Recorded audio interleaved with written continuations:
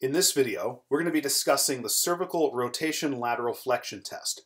You might perform this test if the patient complains of neck pain pretty close to the cervicothoracic junction or CT junction, and also if they complain of brachialgia. You'll see that term in the literature regarding this test.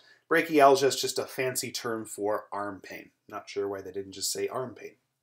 In any case, to perform this test, the patient's going to be seated, the PT is going to be standing behind them, and the PT is going to passively and maximally rotate their neck to end range in one direction.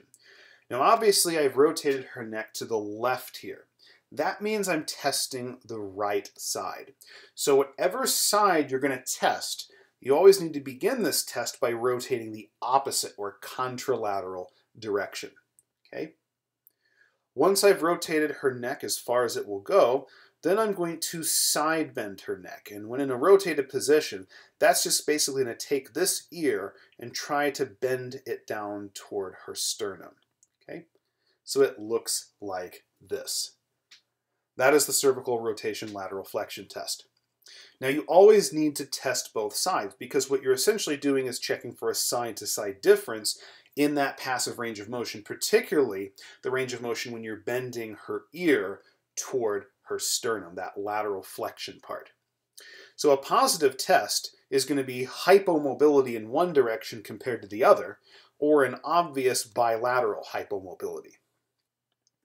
So let's suppose I perform this test exactly as I've done before. I rotate her head to the left, which means I'm testing the right side, and then let's suppose that's as far lateral flexion as I get. There's a clear limitation on her right side compared to the left. So what are some potential pathologies that could cause that impaired movement?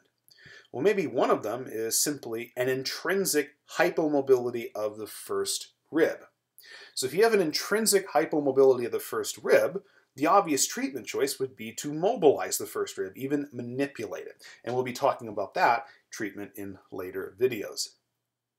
You could also have a hypomobility of the first rib that's actually caused by tightness of the anterior and middle scalenes. Remember, the posterior scalene inserts on rib 2, so that wouldn't make any difference for rib 1. But the anterior and middle scalenes insert on the first rib, and if they're tight, they will limit the movement of that first rib.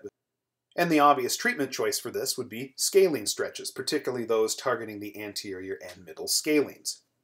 But the patient could also have cervicothoracic hypomobility, so impaired range of motion, in particular between the C7 segment and T1. And so one treatment option for that, other than just simple active range of motion exercises, would be to perform a CT junction or upper thoracic manipulation. And again, we're going to be covering that in later videos.